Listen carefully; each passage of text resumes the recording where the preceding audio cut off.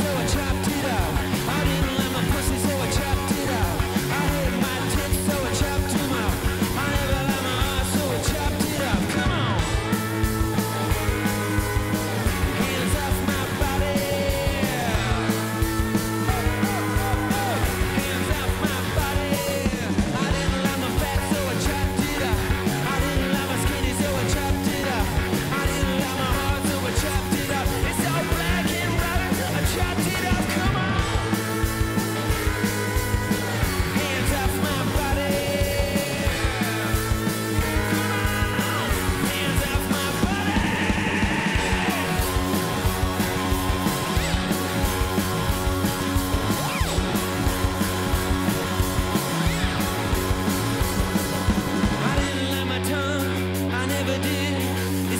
nothing but anxious shit.